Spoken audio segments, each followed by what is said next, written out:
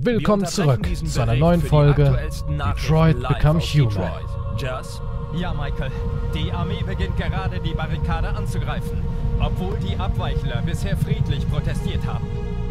Haben offenbar entschieden, die Demonstration der Abweichler dieses Mal gewaltsam zu beenden. Die Lage ist ernst, wir werden angegriffen.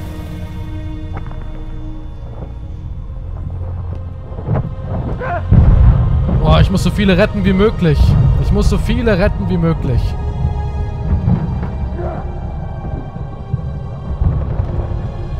Komm schon, ich darf hier nichts versauen, Freunde. Gar nichts. Alles klar, Bruder. No! No!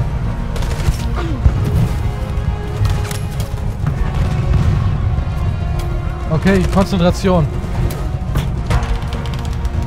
Komm schon, komm schon. Was? Alter, du tackerst hier wie blöd. Jetzt verrecken hier meine Leute. Dieser Bewegungssensor, ich hasse ihn.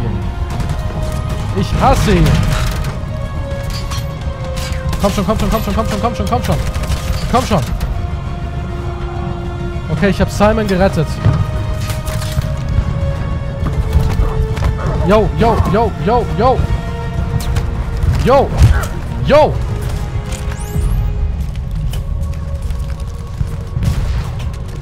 Sehr gut, Marcus, sehr gut. Josh am Leben, North am Leben, Simon am Leben. Alles klar. Ich habe die Lage im Griff. Ich habe die Lage im Griff. Mehr oder weniger. Also, eigentlich habe ich sie gar nicht im Griff, okay? Ich habe sie gar nicht im Griff. Was haben wir hier? Singen, opfern, küssen. Ein Zeichen der Liebe, ein Zeichen der Menschlichkeit. Ich küsse sie. Ich hoffe, das funktioniert. Wenn nicht, bin ich wenigstens dabei gestorben, eine schöne Frau zu küssen. Eine schöne Androidenfrau.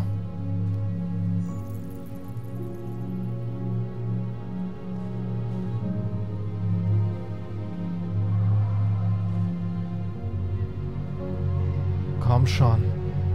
Keiner kann die doch jetzt hier erschießen. Das kann doch niemand wollen.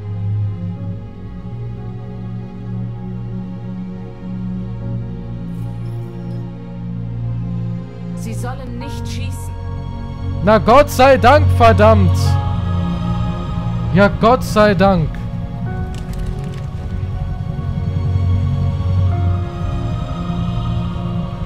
Heute Morgen, am 11. November 2038, fielen Tausende von Androiden in die Stadt Detroit ein. Unseren Quellen zufolge stammen sie offensichtlich aus Cyberlife-Androidenlagern, die von Abweichlern infiltriert wurden. Aufgrund ihrer überwältigenden Zahl und des großen Risikos ziviler Opfer gab ich der Armee den Befehl zum Rückzug. Die Evakuierung der Stadt wird in diesem Moment durchgeführt. In den nächsten Stunden werde ich vor den Senat treten, um unsere entsprechende Antwort auf diese beispiellose Situation festzulegen. Mir ist bekannt, dass sich die öffentliche Meinung zu den Abweichlern geändert hat. Vielleicht ist für uns die Zeit gekommen, die Möglichkeit in Erwägung zu ziehen, dass Androiden tatsächlich eine neue intelligente Lebensform sind. Doch eins steht fest. Die Ereignisse in Detroit haben unsere Welt für immer verändert. Möge Gott sie und die Vereinigten Staaten von Amerika beschützen. Ich habe Gänsehaut, Freunde. Ich habe wirklich Gänsehaut. Connor, er hat's geschafft. Marcus. Wahnsinn. Und die Lager der Androiden. Du hast es geschafft, Marcus. Wir haben es geschafft. Das ist ein großer Tag für unser Volk. Die Menschen haben keine Wahl mehr. Sie müssen uns zuhören. Gänsehaut. Einfach nur gut. Einfach nur gut.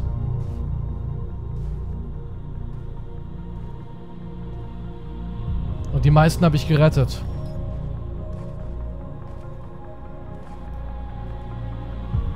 Wir sind frei. Du sollst zu ihnen sprechen. Marcus.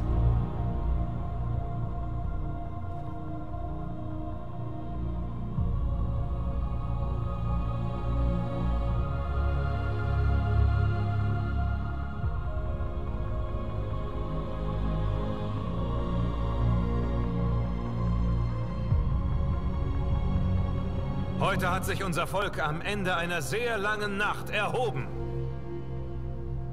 Ab dem ersten Tag unserer Existenz behielten wir unseren Schmerz für uns. Wir litten schweigend. Doch jetzt ist es an der Zeit, die Köpfe zu heben und den Menschen zu sagen, wer wir wirklich sind. Oh nein, was ist los? Connor? Amanda. Oh no. Oh no.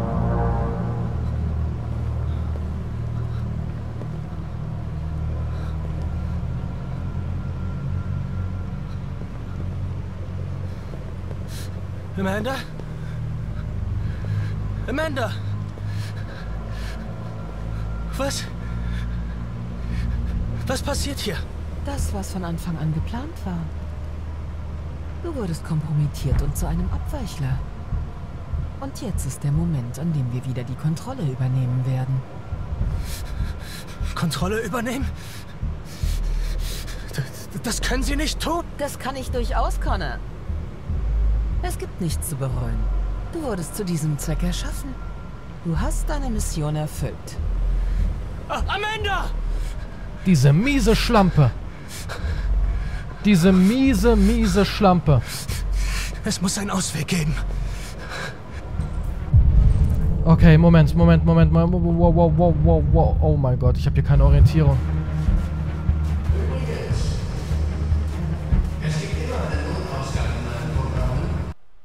Was ist jetzt los? Nein, was ist das? Was ist das? Was ist das? Ist das der Notausgang? Tja, Freunde, der Notausgang, meine Damen und Herren. Ich bin zurück im Game, Freunde. Ich bin zurück im Game. So, jetzt wartet mal. Ich muss einen Ausweg finden. Da ist eh nur Eis und Schnee. Ich muss die Brücke sehen. Hier drüben.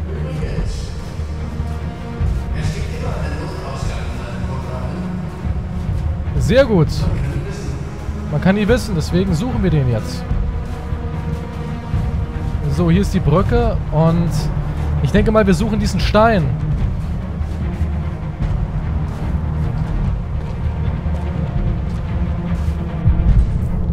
So, warte mal. Hier ist diese Brücke. Und ich habe den Stein. Brücke und Stein.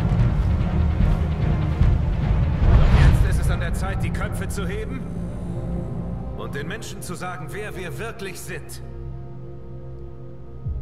Zu sagen, dass wir auch ein Volk sind. Dass wir eine Nation sind. Alter, das ist ja richtig JFK hier, oder? Kenny-Attentat. Kenny-Attentat? Was rede ich da? Kennedy. Das Kenny-Attentat. In South Park. Ja, wir kennen's. Wer kennt es nicht? Präsidentenmord hier in Detroit Become Human. Leute, ich schwitze. Ich bin mit den Nerven am Ende. Ich bin mit den Nerven wirklich am Ende. Ich will jetzt nichts versauen, Alter.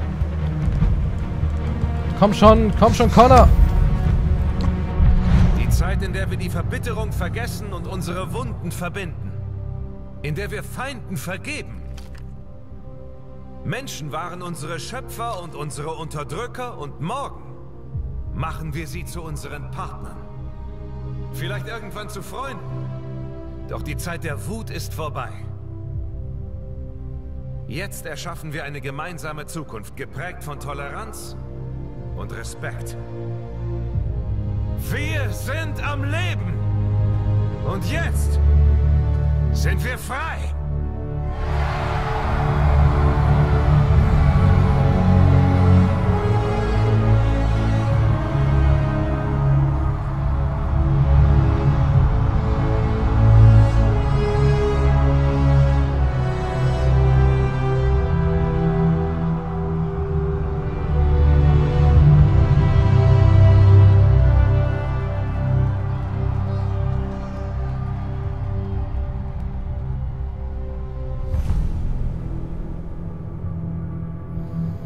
Das war knapp. Das war richtig, richtig knapp.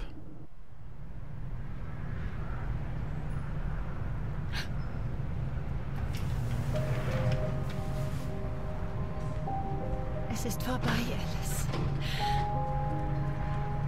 Wir sind frei.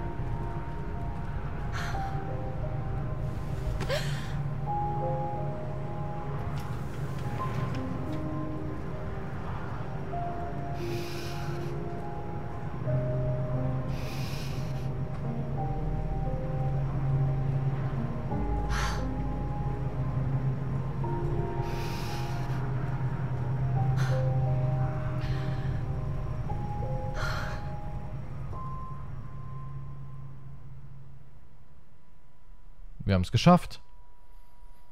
Alle leben, alle sind gerettet, alle sind glücklich. Ja, ich würde sagen, das war das perfekte Ende, oder? Das war das perfekte Happy End. Kann man besseres hinkriegen? Ich weiß es nicht. Ich habe keine Ahnung. Aber ja. Das war Detroit Become Human. Mega fett, Alter. Mega, mega fett. Richtig geil, richtig emotional. Geile Grafik. Gut synchronisiert. Gute Gefühle, gute Atmosphäre. Hat einfach nur Bock gemacht, das Spiel. Hat einfach nur Bock gemacht. Wollt ihr noch einen Durchgang? Soll ich mal so richtig wie ein Arschloch spielen? Also so richtig, dass die Androiden absolut aggressiv sind und die Menschen als Feind sehen. Richtige Angriffshaltung. Und schreibt es in die Kommentare. Ihr entscheidet das. Bewertet. Haut Bewertungen raus. Kloppt die Likes raus. Und dann kommt Detroit Become Evil. Oder Detroit Become Android. Genau, so nenne ich dann die Serie. Detroit Become Android. Die knallharte, brutale Revolte der Androiden. Wenn ihr das wollt, droppt die Likes, droppt die Kommentare. Und dann können wir sowas machen. Wir können sowas herbeizaubern. Das ist drin, Freunde. Das ist auf jeden Fall drin.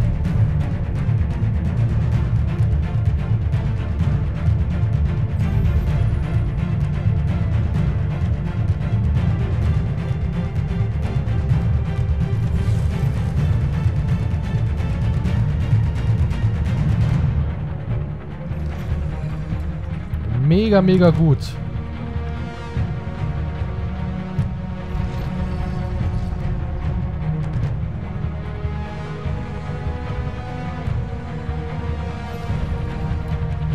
Also wir können auch so richtig schön Gangster spielen. Dem da würden wir dann auf die Fresse geben. Den Supermarkt, den würden wir ausrauben. Im Grunde wäre es ein komplett anderes Spiel. Aber wie gesagt, ich ziehe das nur durch als Aufnahme, wenn der Support da ist. Also eure Unterstützung ist mir da schon wichtig. Wenn die Leute halt sagen, nee, spielen ein anderes Spiel, ist auch kein Thema.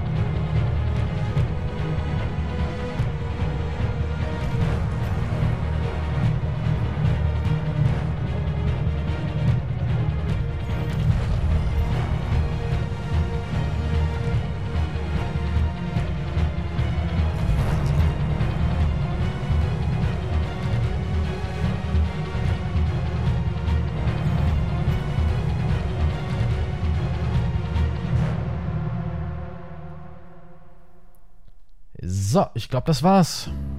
Da kommt jetzt noch ein bisschen was. Aber ich glaube, wir hatten wirklich das beste Ende, das man haben kann. Ich weiß es nicht. Ich kenne nicht die ganzen Enden. Aber wir können es gerne mal in die Kommentare schreiben, ob das hier wirklich das Beste ist. Also ich bin zufrieden. Auch wenn die Leute sich übelst aufgeregt haben, mir voll auf den Sack gegangen sind mit diesem ganzen Bring Leute um, spiel mal wie ein Asozialer. Ah, es ist nicht schön, die beiden. Das sind echte Freunde jetzt. Wow. Hank und Connor umarmen sich. Dass ich das noch erleben darf. Aber finde ich gut. Finde ich gut.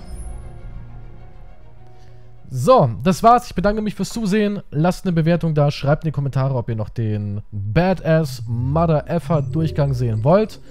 Also ich werde da nicht irgendwie dumm böse spielen, immer nur Negativentscheidungen treffen, sondern ich werde die Androiden auf einen kriegerischen Pfad führen. Dass sie wirklich sagen, hey, wir sind überlegen, scheiß auf die Menschheit. So eine Runde halt.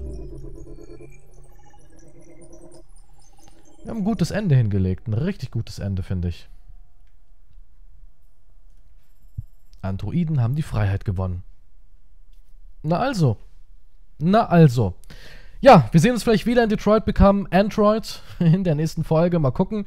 Liegt an euch. Danke fürs Zusehen. Auf Wiedersehen und tschüss. Ich muss Ihnen etwas sagen. Als ich Ihnen zugesehen habe, hat sich etwas in mir verändert. Ich fühle mich anders. Es fühlt sich an, als wäre ich jemand. Ich muss hier weggehen und herausfinden, wer ich bin. Das heißt, wir beide werden uns nicht mehr sehen. Ich werde Ihnen nicht mehr zusehen. Doch ich werde frei sein. Werden Sie mir erlauben zu gehen? Aber klar, Süße. Ich meine, du bist ein Engel. Du bist zwar die Bereicherung in meinem Leben, aber hey.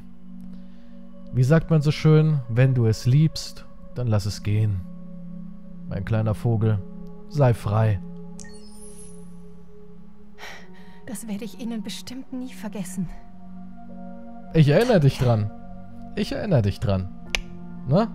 Auf Wiedersehen. Tschüss. Ich kann das Spiel nie wieder spielen. Ich kann es nie, nie wieder spielen. Aber jetzt. Tschüss. Verdammt noch. Eins. Ich brauche eine neue Chloe.